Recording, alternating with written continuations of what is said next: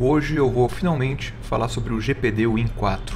Ele é o próximo lançamento de PC portátil da marca GPD. Eu já fiz vídeo sobre o GPD XP Plus e o GPD Win Max 2, que possivelmente eu vou fazer teste de performance em breve aqui no canal. No momento dessa gravação eu tô aqui no Rio de Janeiro, porque ontem eu fui no Rock in Rio, e possivelmente amanhã eu vou postar um vídeo importante sobre a situação do AYN Loki. Mas hoje eu preciso agradecer vocês por ter atingido 20 mil inscritos, inacreditável, e também trazer informações vazadas sobre o GPD Win 4. 4. Esse novo console portátil é um clone bombado dos portáteis da Sony, PSP e PS Vita. A referência do design é clara e além disso ele vem para competir diretamente com o iAnel Slide, que também está previsto para ser lançado agora em 2022. Assim como esse iAnel que eu acabei de mencionar, o GPD Win 4 tem uma tela slide que revela um teclado e um processador Ryzen 7 6800U. Ele vem nas cores branca e preta, eu particularmente prefiro a cor preta, e também tem pelo menos duas opções de hardware, 16 GB ou 32 GB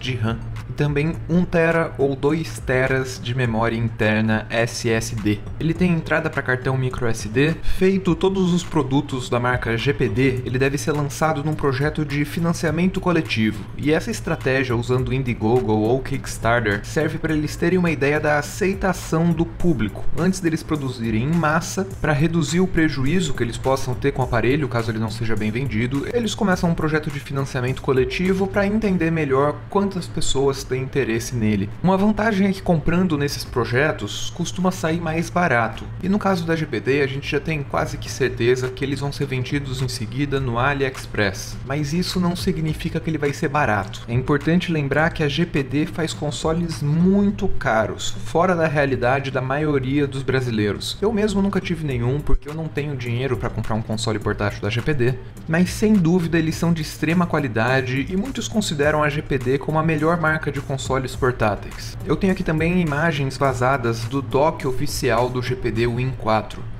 Ele conta com diversas entradas USB, mas o mais interessante é essa entrada de cabo Ethernet. Isso vai possibilitar uma conexão mais estável para a gente poder utilizar esse PC portátil como um desktop. É só encaixar ele nessa dock, conectar ele no monitor, um mouse, um teclado e pronto, ele já vira um computador de mesa, por exemplo. A tela dele é Full HD e a gente já tem algumas imagens de um protótipo circulando a internet que ajuda a deixar mais claro o tamanho que ele vai ter em comparação a outros consoles. Ele pesa um pouco mais que meio quilo, se eu não me engano são 566 gramas, e aqui no canal já fiz alguns vídeos demonstrando a performance de consoles com um processador AMD 6800U. Vou deixar links aqui na descrição, mas resumindo, na teoria esse processador é mais potente que um Steam Deck, meio que capaz de rodar absolutamente absolutamente todos os jogos da Steam com extrema qualidade e FPS alto, mesmo games como Cyberpunk, God of War, esse novo do Homem-Aranha que acabou de ser lançado, tudo roda muito, muito bem. No momento da gravação desse vídeo, a gente ainda não tem preço nem data de lançamento definido, mas eu espero que o GPD Win 4 seja lançado ainda esse ano de 2022. O seu formato nostálgico para fãs de PSP e PS Vita torna ele um candidato ideal para emular PlayStation 3 e curtir games de AAA da Steam. E pelos vídeos que eu fiz recentemente testando o Ionel Air, que é muito mais fraco que ele, a gente já tem como ter certeza que o GPD Win 4 vai ser capaz de rodar PlayStation 3 e Steam